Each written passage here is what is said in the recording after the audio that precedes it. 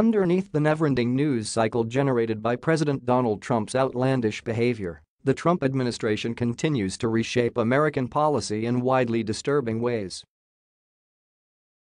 This Monday, CNN's senior diplomatic correspondent Michelle Kosinski shared that the State Department was holding a special informational call that only faith-based media were invited to be a part of. She explained on Twitter. The State Department is holding a special informational call today. But the State Department press corps wasn't invited. Being told it's for faith-based media only. Quite simply, that arrangement could fly in the face of constitutional demands for freedom of the press. The Bill of Rights explicitly lays out a pair of principles relevant here, including in the First Amendment. Congress shall make no law respecting an establishment of religion or abridging the freedom of speech or of the presses. It's amazing that the United States has gotten to a place where some have to be reminded about the First Amendment while the principle most explicitly covers laws that tend a particular discriminatory direction, to suggest the amendment's principle isn't relevant here would be outlandish. Does this call represent a new principle inside the State Department of prioritizing faith-based media in information distribution? Few are under any illusion that the faith-based designation has a very particular religion in mind. Secretary of State Mike Pompeo has explicitly and repeatedly phrased his foreign policy positions in fundamentalist Christian terminology.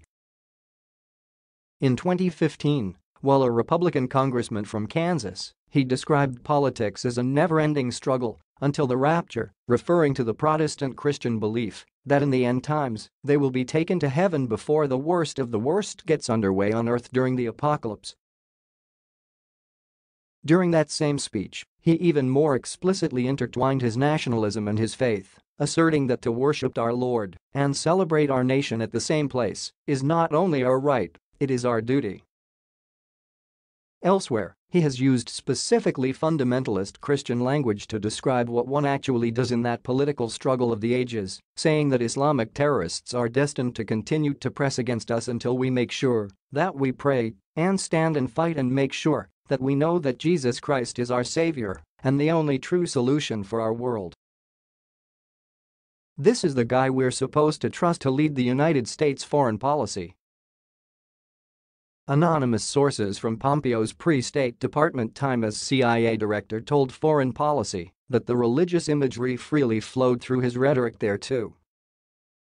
At present, it's unclear what further ramifications there may be from the latest apparent expression of Pompeo's ideology via the call for faith-based media only. This Monday, Pompeo visited his home state of Kansas as part of the Road to GES, meaning the Global Entrepreneurship Summit, an event the State Department hosts jointly with the Dutch Ministry of Foreign Affairs. It's not the first time the Trump administration has come under scrutiny for its treatment of the media. They tried unsuccessfully to ban CNN's Jim Acosta from the White House on the basis of false allegations that he'd essentially been physically violent with an intern